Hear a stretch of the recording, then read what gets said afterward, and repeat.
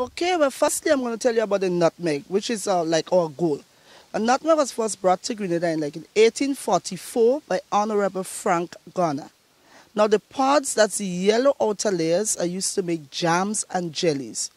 Nutmeg is used in pharmacy, in Vicks vapor rub for the treatment of cold, also in rum punch. Now, the mace, that's a red netty pot. It's used as a seasoning for seafood, porridges, cosmetics. Nutmeg and mace is very strong, so when you use it, use it in small amounts. Okay.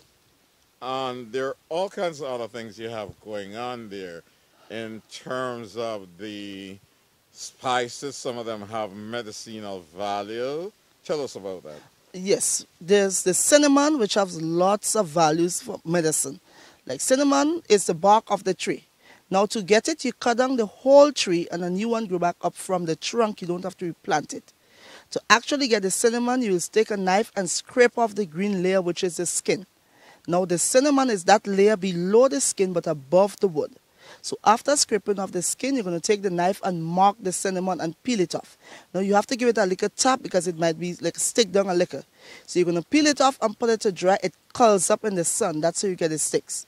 Now cinnamon can be used but whole and ground up in cinnamon rolls, cakes, ice cream porridges as a tea for gas and chills and diabetes. Now cinnamon also help with weight loss and cholesterol too. Okay, great. Now, there are other spices there that have medicinal value. Yes. Tell me about some more of them. The, for instance, there's ginger also, used as a tea for gas and chills in ginger ale, biscuits, and seasickness and morning sickness, or any form of motion sickness, ginger. Or world famous these days, the turmeric.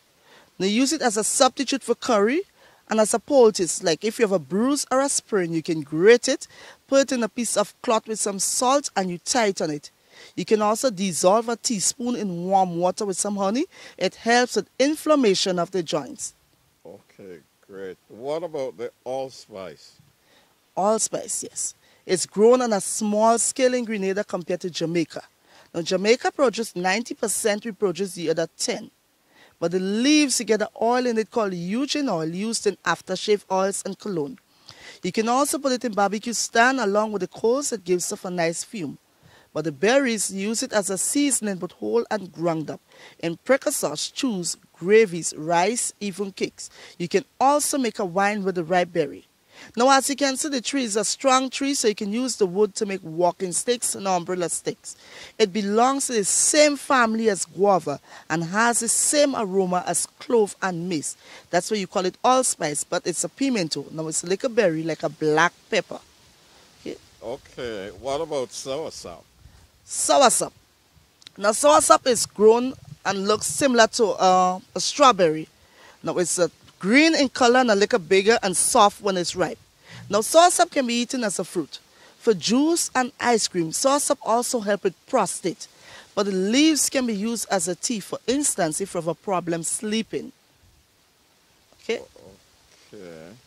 And um, there are some other ones that I'm not familiar with, but let's look at the rosemary. Yes. Rosemary is used as a seasoning for lamb. Now you can also use it for chest cold in babies.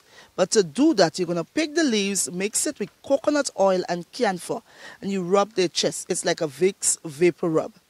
Rosemary can also be used as a tea for hot flashes in menopause, depression, and memory loss. I noticed there was senna pod there too. Senna pod, yes. that yellow flower. Flowers? Yeah. Yes, and you know senna pod is used as a laxative. What about Ven-Ven? Now, Ven-Ven is also used for cooling, but in breastfeeding mom. Now, you make a tea with it, it enhances the flow of the breast milk. Wild coffee? Wild coffee is for prostate. It don't cure the prostate, it don't help, it, it only help you with the pain. For instance, now you're going to take the dry seed, roast it, and sip it in water, and then use it as a beverage for the stoppage of water. Okay. Periwinkle? Periwinkle is a, like a decorative plant or a house plant, but you can use it as a tea for diabetes. What's the other name for periwinkle? Uh, it's old. And it's grown pretty much all over Grenada? All over the island, like a house plant. Okay, wild onions. Now this one, it makes a big bulbs and a flower like an amaryllis. But actually you're going to use the bulbs for asthma. You're going to boil the bulbs and drink it. It makes you vomit. Then you bring up the mucus. But if you don't have the wild onions, you can use the regular onions that you cook with. But first you have to cut it up in sugar till it makes a syrup. Then you drink it. It have the same effect. Dandelion. Dandelions are grown wild. Most people have them as weeds. Now when the dandelions, you make a tea with it, it cleanses the urine. You can use it for kidney stone.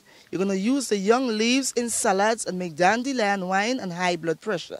Mm-hmm. Guyana thyme. Oh, that's one really nice smelling one.